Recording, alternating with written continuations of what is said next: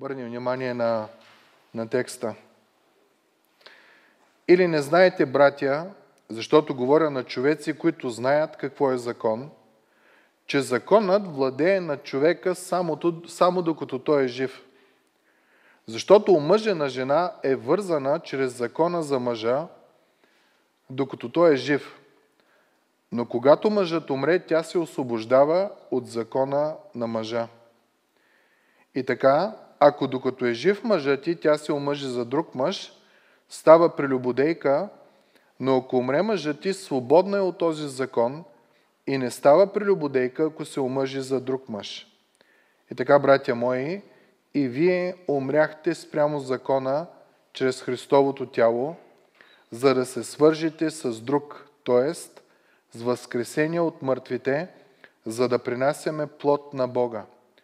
Защото когато бяхме плътски, греховните страсти, които се възбуждаха чрез закона, действаха в нашите телесни части, за да принасяме плод, който докарва смърт. Но сега, като умряхме за закона, с който бяхме свързани, ние се освободихме от него, за да служим на Бога, обновени от духа, а не по старата буква на закона. Може да седнете. Един чудесен текст, който е апостол Павел дава един пример, за да не бъде по-ясно това, което иска да каже относно връзката на християнина с закона. Обаче искам няколко неща първо да, да осъзнаем. Изпълняването на закона, ритуалите, традициите, обичаите, церемониите не ни дава възможност да се доближим до Бог. Пътя до Бог е чрез Исус Христос. Аз съм пътят, истината и живота. Това е много важно да го, да го осъзнаем. Исус казва, никой не отива при Отец, освен чрез мене. Следващия път, като се съберем, апостол Павел ще каже, ама това означава ли, че закона е лош? Всъщност не, закона е добър. Той ограничава злото да не излезе извън баланс, да не излезе извън релси. Целта на закона е да ограничи злото, в което живеем. Вижте апостол Павел в Галатяни 3 глава какво казва. А преди да дойде вярата, не бяхме под стражата на закона, ние бяхме под стражата на закона, затворени до времето на вярата, която имаше да се открие. Така законът стана за нас детеводител, за да ни доведе при Христос, за да се оправдаем чрез вяра. Тоест, целта на закона не е да те оправдае. Целта на закона е да осъзнаеш колко си грешен. И когато осъзнаеш колко си грешен, да извикаш няма ли милост и тогава ти се явява Исус Христос. Между другото, в целия Стар Завет ние го виждаме това. В момента, в който Бог даде закона, второзаконие, Левити второзаконие, коя е следващата книга? Числа. И там, извиняйте, в книгата Изход, следващата книга е Левит. В Изход Бог даде закона. И следващата книга е Левит, Бог даде жертвената система, защото знаеше, че хората нямаше да могат да изпълнят закона. Та, в това, което ще разискваме, апостол Павел ще ни каже, че християнина не е под закон. Т.е. ритуалите, традициите, обичаите, церемониите на Стария Завет не ни помагат да отидем при Бог. Не ни довеждат до Бог. Ние отиваме при Бог чрез Исус Христос.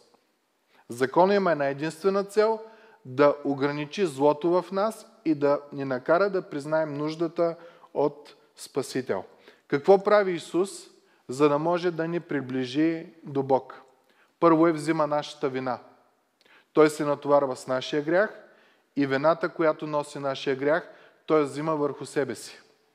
И след това, това, което той прави е, той живее съвършения живот, който Бог изисква да живеят неговите деца. Вместо нас. И ние, когато повярваме в Него, Той умира за нашия грях и ние получаваме Неговата правда, Неговата праведност, за да можем да отидем до Бога. Библията ни казва, че Исус Христос, който стана за нас мъдрост от Бога и правда, няма наша правда, Христова правда, и освещение, и изкупление, така че както е писано, който се хвали, с Господа да се хвали. До тук предполагам, осъзнаваме, че Твоето и моето спасение, Твоето и моето оправдаване е изцяло Божие дело. С една цел. Цялата слава да е за Бога. Бог прави абсолютно всичко, за да мога ти и аз да можем да бъдем спасени.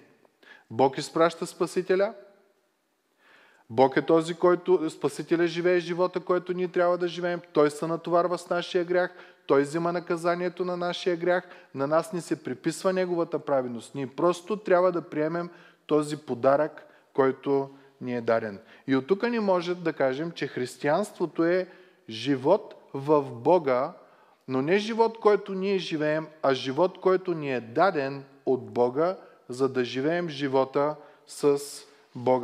Много често ни бъркаме християнство, че това е някакви а, морални учения, които ще ни направят по-добри. Да, има много морал в християнството, но е много повече от това просто да станеш по-добър човек.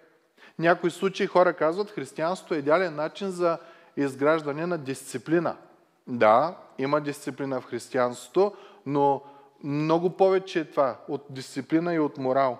Някой казва, това е начин да сме по-успешни и да си оправим взаимоотношенията и ни с други. Има го и това, но най-важното, което е, християнството е живот с Бога. Живот в Бога и с Бога. Основата на връзката ни с Бог не е на земята. На небето е. В Исус Христос, нашия Господ и Спасител, който е седнал отясно на Отец и ходатайства за тебе и за мене. И отново повтаряме, връзката ни с Бог не е основана на нашата праведност. Основана е на Христовата праведност, което прави Христос нашия скъпоценен бисер. Спомняте си причите, които Исус казва за Божието царство. Че Той е като имане, което е скрито в нива, което като го намира човек, отива продава абсолютно всичко, което има, т.е. всичко счита за измет, само да придобие това скъпоценно нещо. Апостол Павел казва, моя Господ и Спасител Исус Христос. Да, виждаме, че от хора, които сме за унищожение, ставаме хора, които сме в Божието присъствие и в радост. И това единствено става чрез Исус Христос, нашия Спасител. И за всеки един християнин, това е нещо, което ще ви помоля тази вечер, като се приберем, да, да, си го, да го обмислим малко в живота си. Христос този скъпоценен бисер ли е? Това невероятно имани ли е, заради което се разделяш с всичко друго, само да можеш това нещо да придобиеш. За да имаш радост и да имаш надежда. Искам да ви кажа, че ако Христос е вашия бисер, ако Той е вашето съкровище, ако Той е вашата надежда, ако Той е вашата наслада, следващото нещо, което осъзнаваме още по-великолепно. Ние попадаме в времевата линия на спасението на човеците.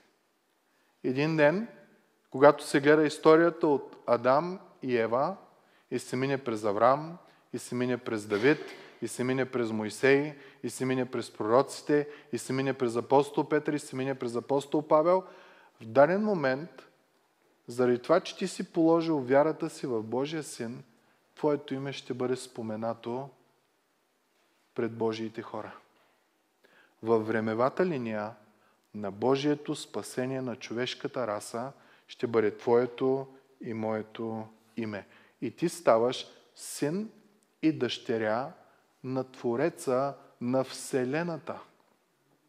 Всичко, което съществува, ти ставаш Негов син и Негова дъщеря.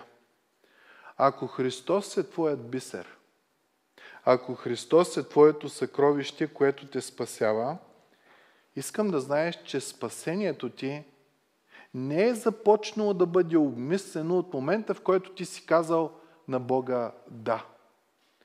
Библията казва, че от преди сътворението на света Бог те е познавал. От преди сътворението на света Господ е започнал да изгражда твоя личен план за спасение чрез Исус Христос. И от чисто времева линия, твоето и моето спасение е било подготвено от Бог в продължение на хиляди години. От Адам до момента, в който идва Христос. Толкова сме специални. Толкова сме специални. Христос е нашия бисер, Христос е нашето съкровище, Христос е всичко за нас.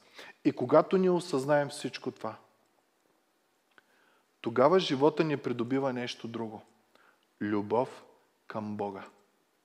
До този момент може да го почитаме, до този момент може да му се подчиняваме, до този момент може да го уважаваме и всички тия неща, които правим към власт имащите, които са около нас. Но когато осъзнаем колко сме специални в Неговите очи и колко уникален е Той за нас, цялото ни спасение, цялата ни връзка е чрез Исус Христос, ние придобиваме любов към Бога. А в съвършената любов няма страх. И вече ние не изпълняваме нещата, които трябва. Аз не съм добър съпруг, защото ако не съм, Бог ще ме накаже. Аз изпълнявам моята роля като съпруг, защото обичам Исус Христос, моя Господ и Спасител. Той е моето съкровище. Ти, мили братко и сестро, не си най-добрата баба, не си най-добрия работник, т.е. да даваш най-доброто от себе си. Не си най-добрия шеф, защото ако не си, ще има шамари, а защото си познал бисерът на всички бисери, съкровището на всички съкровища. Твоя мил Господ и Спасител. И си осъзнал, че не си един от, колко са сега, 8 милиарда и половина човека, ами си специален в Божиите очи. И Божия син е дошъл и е умрял специално и единствено за тебе. И това е много важно да го осъзнаем. Това е основата на нашата връзка с Бога. Нека сега да се върнем обратно към, към текста. Първата част, той е разделен на две части. Първата част, той ни дава един пример. И казва, или не знаете, братя, защото говоря на човеци, които знаят какво е закон, че законът владее на човека само докато той е жив. Защото мъжа на жена е вързана чрез закона за мъжа, докато той е жив, но когато мъжът умре, тя се освобождава от закона на мъжа.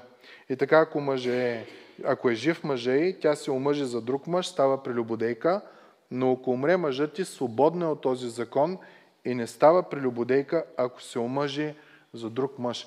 Този текст няма за цел да ни опише семейни неща.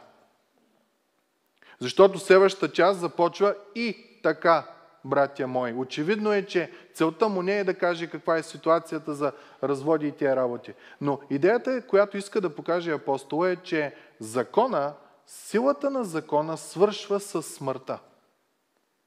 В момента, в който ти умреш, закона няма сила над тебе. Представете си, че някои престъпни го осъдят и той по пътя за затвора вземе, че умре.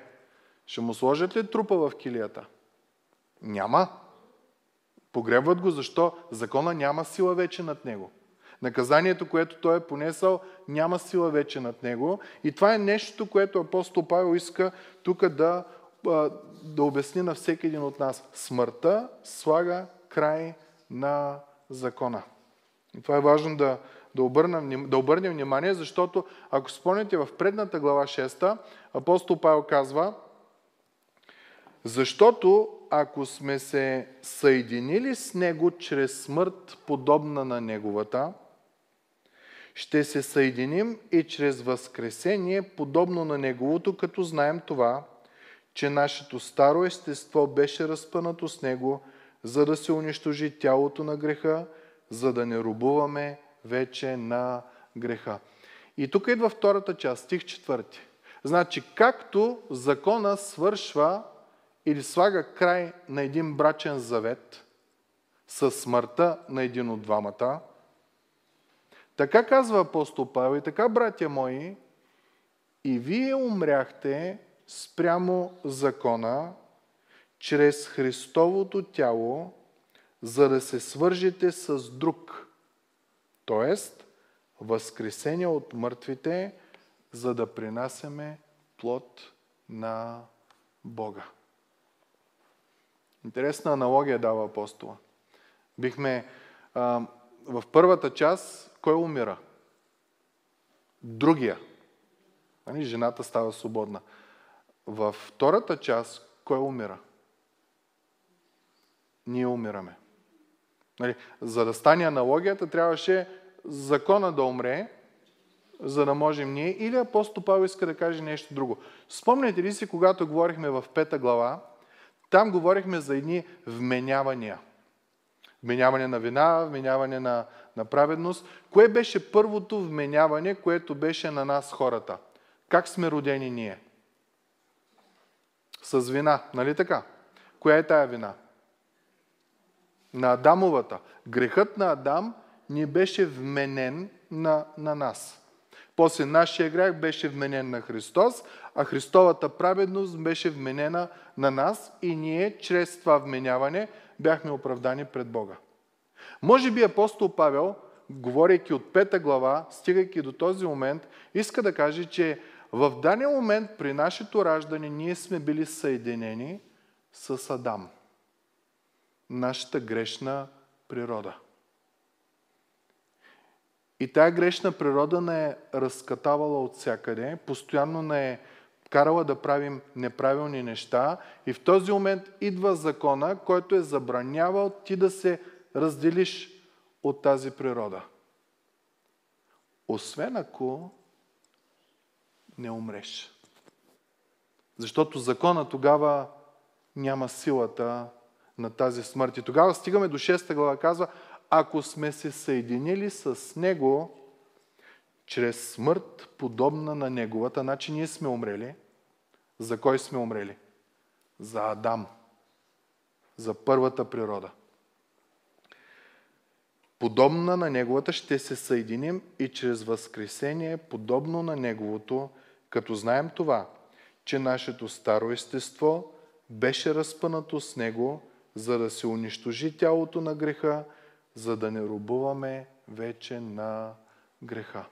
Апостол Павел казва, и така, братя мои, в нашия текст, и вие умряхте спрямо закона чрез Христовото тяло.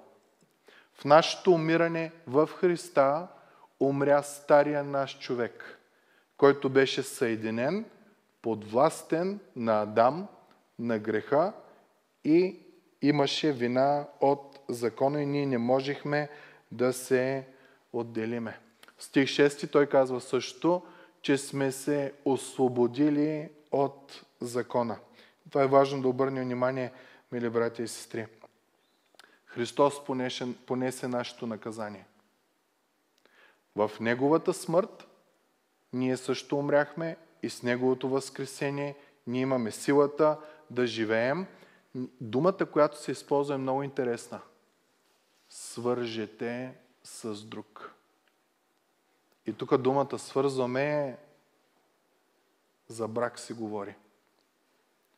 Когато сме родени, ние сме свързани с Адам. Неговата вина не беше приписана. Когато умряхме с Христос, ние се свързваме с Него чрез Неговата благодат. Затова Библията описва връзката между християнина, между църквата и Христос, като на невеста и младоженец. Много близка връзка, много силна връзка. И апостол Павел казва, както една жена, докато е жив мъже, не може да се раздели, закона не позволява, така и ти не си можел да се разделиш от грешната ти природа до момента, в който един от двамата не умре. И начина по който става за нас е, ние умираме с Христос.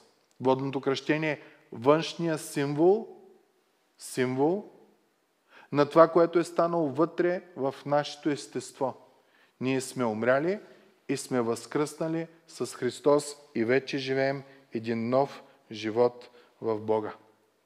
Та, ако сме се свързали с Христос и сме се освободили от Него, каква е, каква е целта на това нещо? Може би си зададем въпроса, аз сега свободен електрон ли съм? Мога ли да правя каквото си искам? Защото обикновено това е, когато няма закон, анархия.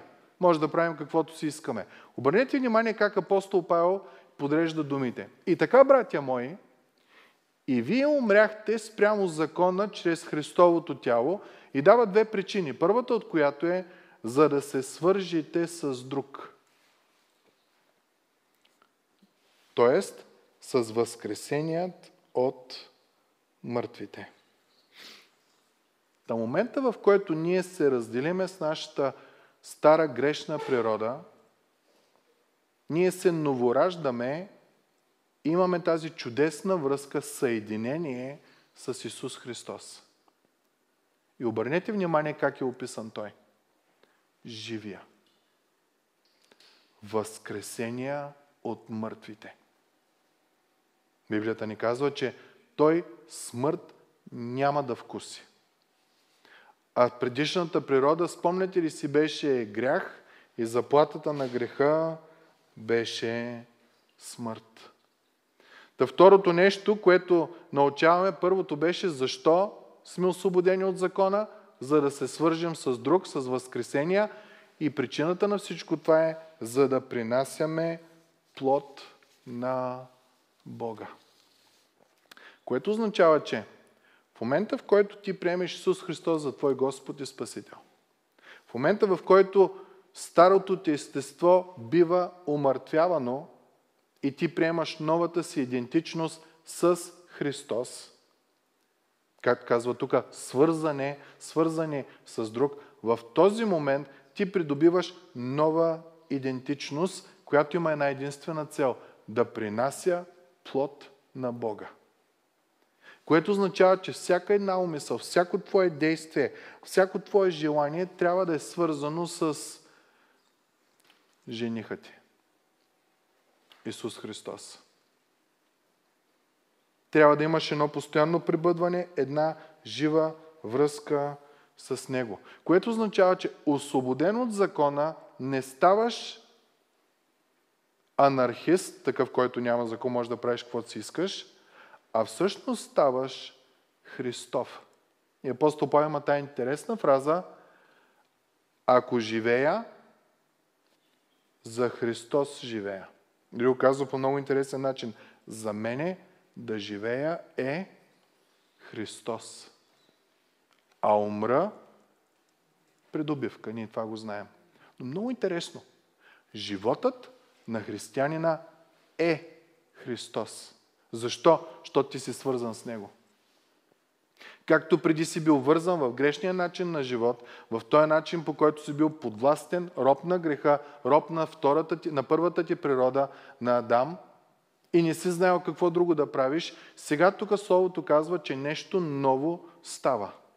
Ти си умрял за старото, закона вече няма сила на тебе, но ти живееш вече с Христовия закон и можеш за първи път в живота си да принасяш плод на Бога.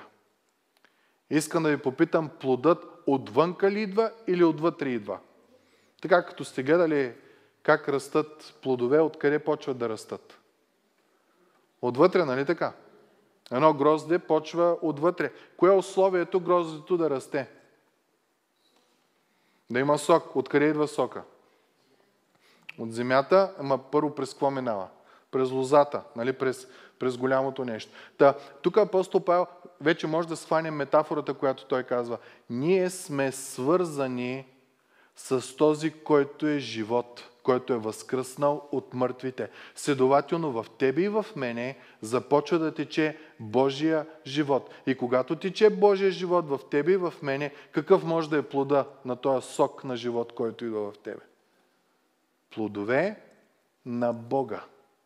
Угодни на Бога. Следващия път ще се спреме повече върху тия плодове, но искам да ви загадна за плодът на духа. Ще говорим за този вид плодове.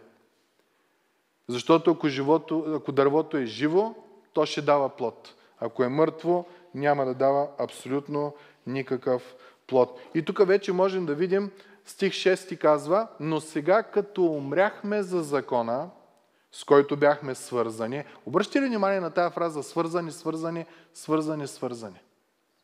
Когато си бил грешен, законът е бил той, който те е мачкал от всякъде.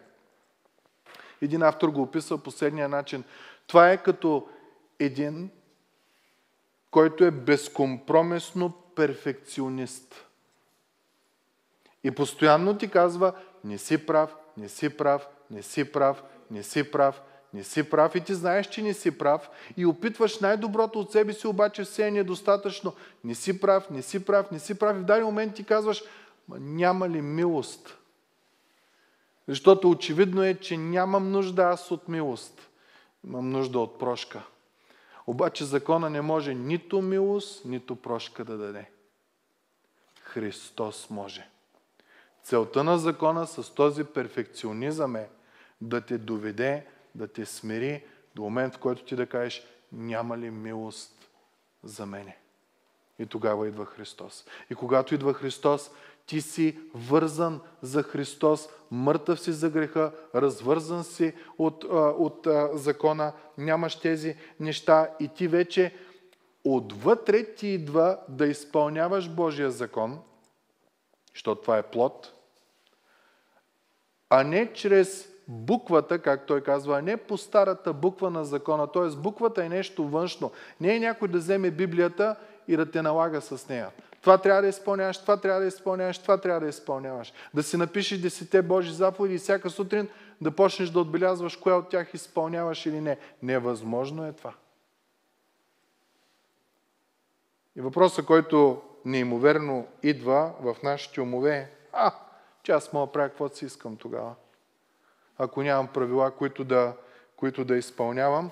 Искам да ви кажа, мили брати и сестри, че когато си свързан с Христос и си освободен от закона, ти си обновен от духа. Някаква огромна, радикална промяна става в тебе. Изведнъж закона не е 20 правила или 613, които трябва да изпълняваш, иначе има, както баба ми казваше, лабут. Изведнъж ти осъзнаваш, че този закон е свят и ти започваш да го изпълняваш чрез любов. Давам ви един пример. Любовта дълго търпи и е милостива. Начина по който е написано говори, че естеството на любовта е такова. А не са списъци от неща, които аз имам ли любов, ми чака да видя тия работи как вървят. Не, когато ти имаш любов към Бога, когато си свързан с Него, тия неща стават реалност в тебе. Любовта дълго търпи е милостива. Един от любимите ни пасажи за любовта. Но той е невъзможен, ако не си свързан с Христос.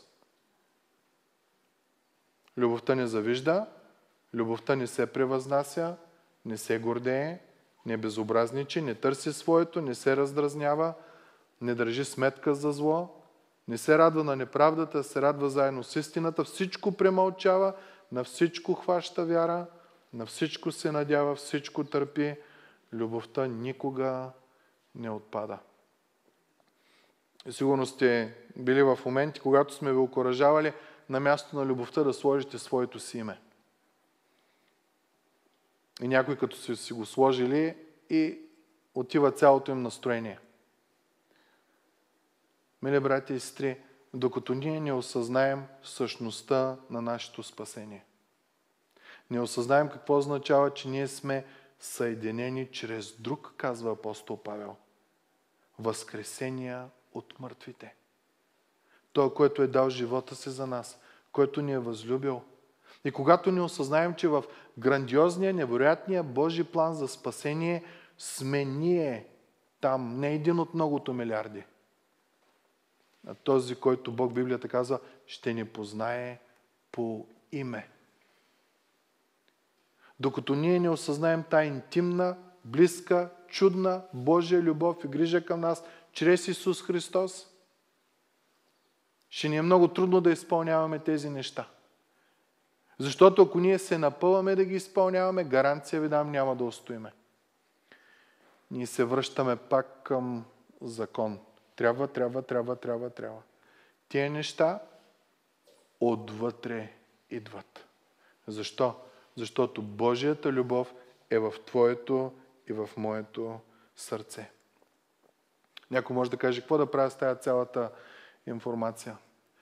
Ако ние осъзнаем дълбочината на Божията любов, че не сме вече под закон, защото под закон винаги си виновен, а сме под благодат и търсим повече тази благодат. Търсим този, който ни е дал благодата. Търсим нашето съкровище. И като го намерим това съкровище, ние всичко друго изоставяме. Изоставяме филмите, изоставяме Фейсбук, изоставяме телефони, изоставяме абсолютно всичко. Искаме повече и повече време да прекараме с този, който е животът ни.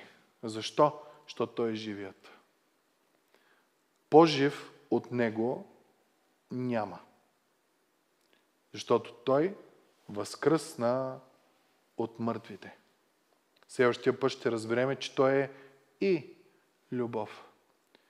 И когато си преживия, и този, който е любящ, и той създава плод в тебе, от тебе започва да извира любовта, която е първия плод на духа.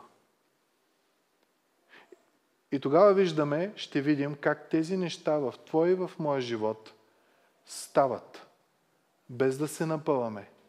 Естествено, заради връзката, която имаме с Господа. Има един стих в Колосяни, глава 5, който дава практични съвети как християните във всички сфери трябва да се обхождат или обгрижват ни други. Към жените, към мъжете, към децата, към бащите, към слугите и към господарите. И винаги обърнете внимание, гледната точка е бисерът. Ако Христос не е твоя бисер, ако Христос не е твоето съкровище, ти на тези неща много ще се мусиш. Защото отвътре няма да ти дойдат. Ще е трудно. Чуйте какво казва. Жени, подчинявайте се на мъжете си и до тук някои почнахме да вдигаме градусите. Обаче текста продължава. Както прилича в Господа. Не както културата казва. Може да си в култура, където жената е предмет, подметка. Ти не можеш така да се отнасяш. Със съпруга си, извинявайте. Мъже, Обичайте жените си и не се огорчавайте против тях. Идеята каква е?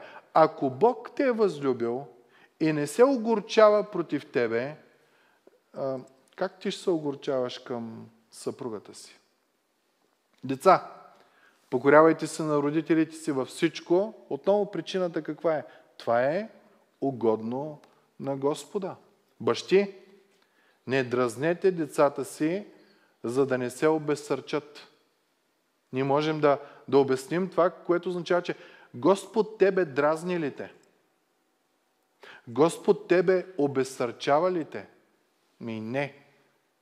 Бъди към детето си, както Господ е към тебе. Слуги.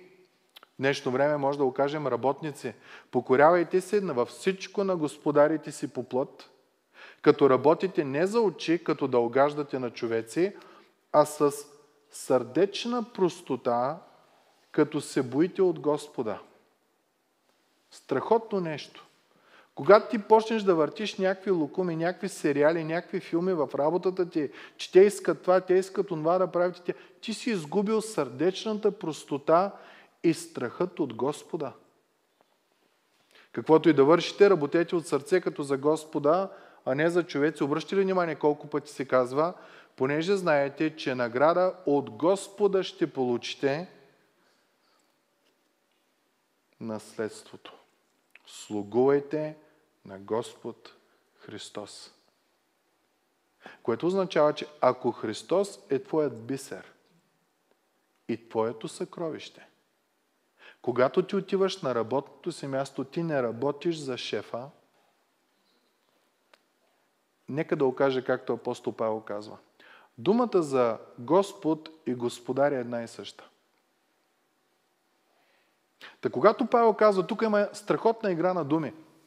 Слуги, покорявайте се във всичко на господарите си, като работите не за очи, за да огаждате, а сърдечна простота, като се боите от Господа, от господаря си. Има една игра на думи на господари. Отношение към а, земните господари трябва да е също, все едно е небесния господар. И накрая завършва, слугувайте на господаря, ама Христос. Тоест, когато си на работа, ти работиш за Бог.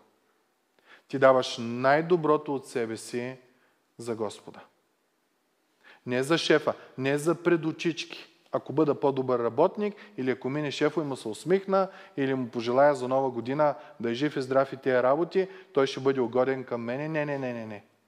Работиш като за бисера, за съкровището си, за Христос. Защо? Ти вече си съединен с Него. Там е радостта ти, там е мирът. И накрая казва, Господари, отдавайте на слугите си безпристрастно това, което е справедливо, като знаете, че вие имате Господар на небесата. Всяка една част трябва да се отнася към другите от гледна точка на връзката си с Христос. Шефовете, бъдете добри към слугите, защото има шеф над вас и шефа е Бог. Слуги, работете от сърце, като за Господа, а не за човеци, понеже знаете, че за награда от Господа ще получите наследство. Очевидно е, че Павел казва, не работи за заплатата. Тя ще бъде дадена. Твоят ум трябва да бъде да работиш за Господа. Да си най-добрия в работата, да не злословиш, да не клюкариш за Господа. Как става това нещо обаче? Много е трудно, нали? Съпруги, подчинявайте се на мъжете си като към Господа, мъже към жените като към Господа, деца към родителите като към Господа, родители като към Господа, към Господа, към Господа, към Господа. Защо? Защото преди малко текста ни каза, че ние сме съединени с Господа, за да принасяме плод на Бога. И това е красотата. Ние служим на Бог не от страх, а от любов. И разликата е огромна. Ние служим едни на други, от любов към Бога, а не защото ако не служим, ще дойде шамар. Между другото, ако ние изпълняваме неща от страх, много е трудно и на работното място, и в брака е много трудно, и по отношение към бащи, и към майки става много трудно, и по отношение на деца става много трудно. Освен ако ние нямаме бисер, толкова скъпоценен, че сме готови заради Него децата да ги възпитаме в Божия път, а не както света казва. Съпругата да я третираме както Христос възлюби църквата и даде себе си за нея, а не както света казва да ги третираме. Съпруга да го третирам като пред Господа, както е прилично, а не както света ми казва да, да мразя мъжа, да тъпча мъжа или каквито са тия новите феминистски движения и тия неща. Но това може да стане само, пак го повтарям, много пъти го повтарям, ще го повтаряме, ако сме намерили бисера. Господа Спасителя. Защото тогава сме съединени с Него. Имаме тази прекрасна, жива и чиста връзка, връзка на любов. И сме намерили милост, и сме намерили благодат, и сме намерили надежда. Господа ни благослови.